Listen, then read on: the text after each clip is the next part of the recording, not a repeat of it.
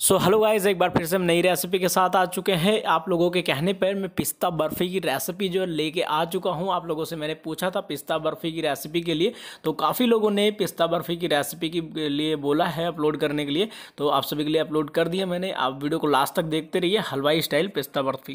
So hello guys एक बार फिर से स्वागत है आप सभी का सोनी किचन में। आई होप कि आप सभी को मेरी वीडियोस पसंद आ रही हो। तो अगर आप मेरे चैनल पर नए हो तो चैनल को सब्सक्राइब करके बेल आइकन ऑन कर लीजिए ताकि आपको आने वाली वीडियोस की नोटिफिकेशन मिलती रहे। मैं रोज ऐसी हलवाई स्टाइल डिशेस अपलोड करता रहता हूँ तो आप मेरे चैनल को डेली चेकआउट कर सकते हो। तो चलिए स्टार्ट तो पिस्ता बर्फ़ी बनाने के लिए सबसे पहले हमें दूध चाहिए। तो दूध यहाँ पे मैं मशीन में इसका जो खोया है वो बनाऊँगा, लेकिन आप लोग इसको डायरेक्टली कढ़ाई में बना सकते हो। तो यहाँ पे मैंने 15 किलो दूध का यूज़ किया है। 15 किलो दूध मैंने एक चलती हुई मशीन में डाल दिया और उसके बाद यहाँ पर मैंने 1400 ग्राम, यानी कि आप इसमें 80 ग्राम, एक किलो दूध में 80 ग्राम डाल सकते हो। चीनी तो और उसके बाद थोड़ा सा मैंने यहाँ पे हाइड्रो पाउडर डाला है इसको थोड़ा सा साफ़ करने के लिए और इलायची का पाउडर बस यही तीन चीज़ें आपके इसमें पड़ेंगी, इसके ज़्यादा, इससे ज़्यादा कुछ भी नहीं। उसके बाद हम पिस्ता डालेंगे, बाद में ये खोया बनने के बाद। तो हमारा जो दूध है वो बिल्कुल उबलने लग चुका है और बिल्कुल उबल उबल के ये थिक हो जाएगा। ऐसे ही सेम टू सेम आपने कढ़ाई में बनानी है। कढ़ाई में बिल्कुल आप हिलाते रहो, उसको कढ़ाई में डाल के दूध उबलता रहेगा, उसको हिलाते रहो अच्छे से तो वो सेम बिल्कुल बन जाएगा। और उसके बाद हम देखें देखेंगे कि ये बिल्कुल दूध गाढ़ा होना स्टार्ट हो चुका है। गाढ़ा होने के बाद ये बिल्कुल खोए की तरह बन जाएगा। लेकिन हाँ इसमें हमने चीनी वगैरह सब कुछ ऐड कर दिया है तो इसलिए ये बिल्कुल बर्फ़ी रेडी हो जाएगी। अगर इसमें हम कुछ ना ऐड करते तो बिल्कुल खोए जैसा ही रेडी हो जाता। तो हमने सब कुछ ऐड किया हुआ है तो देखिए काफ़ी ज़्यादा थिक होना स्टार्ट हो चुका है। अब ये करीब मशीन बहुत फास्ट चलती है, इसलिए कम से कम 20 मिनट में ही ये रेडी कर देती है एक 15 किलो दूध का।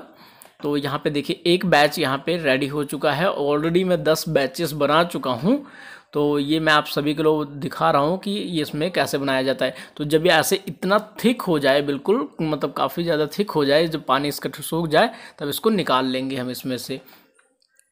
देखिए तो हम इसको यहाँ, इसमें से निकाल रहे हैं। आप इसको कढ़ाई में खोए जैसा बना सकते हो। तो हमने यहाँ पे सारे निकाल लिए हैं। अब उसके बाद सेम टू सेम इसको अच्छे से फैला देना है ताकि ये ठंडा हो जाए थोड़ा सा। और उसके बाद सीधा इसको कढ़ाई में डालना है। कढ़ाई में डाल के हम पिस्ता का जो कलर वगैरह है, वो हम इसमें लेके आएँगे। तो इसको हम, मैं डालता हूँ पहले कढ़ाई में। तो देखिए कढ़ाई में मैंने डाल दिया है। जितना आपको डालना है उतना ही डालें, ज़्यादा ना डालें।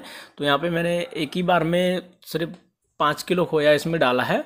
पाँच किलो बर्फ़ी।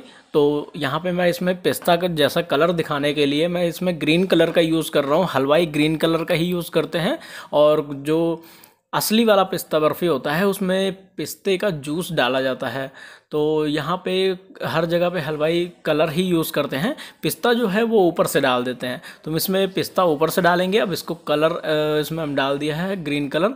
तो ये बिल्कुल ग्रीन हो जाएगा थोड़ा थोड़ा आप कलर कम ज़्यादा अपने हिसाब से डाल सकते हैं, जितना भी आप डालना चाहें, उस हिसाब से आप इसको डाल सकते हैं। तो अब इसको थोड़ा सा भुनना है। अगर आप चाहते हो कि जल्दी बर्फ़ी हमारी रेडी हो जाए, कि जल्दी अगर हमें दो तीन घंटे में ही रेडी हो जाए तो आप इसको इतना थिक कर लें। नहीं तो मशीन से जब मैंने निकाला था, उतना थिक अगर आप रखोगे तो 24 घंटे लग जाएँगे उसको बर्फ़ी जैसा पीस बनने में। बर्फ़ी जैसा जमने में उसको। और इतना थिक जैसे अभी दिखाई दे रहा है, इतना थिक अगर आप कर लोगे तो ये दो घंटे में ही बर्फ़ी आपकी रेडी हो जाएगी। दो से तीन घंटे में बर्फ़ी रेडी हो जाएगी। देखिए इतना थिक आपको करना है। अगर आप दो तीन घंटे में इसको रेडी करना चाहते हो। कुछ लोग बोलते हैं ना, हमारी बर्फ़ी जमती नहीं है तो इसको थोड़ा सा थिक कर लो, पानी इसका थोड़ा ज़्यादा सुखा दो तो बर्फ़ी जमने लग जाएगी। इसमें कोई प्रॉब्लम नहीं है। तो अब इसको हम निकाल लेते हैं एक ट्रे में, जिसमें हम जमाएँगे बर्फ़ी को। तो हाँ ट्रे में थोड़ा तेल लगा लें नीचे कि बर्फ़ी काटने में ईजी रहे। जब काटे तो ईज़िली निकल जाए। तो तेल लगा के मैंने इसमें निकाल लिया है। अब इसको अच्छे से चारों तरफ़ फैला देते हैं ताकि हमारी जो बर्फ़ी है बिल्कुल रेडी हो जाए और इसको हम दो तीन घंटे के लिए छोड़ देंगे।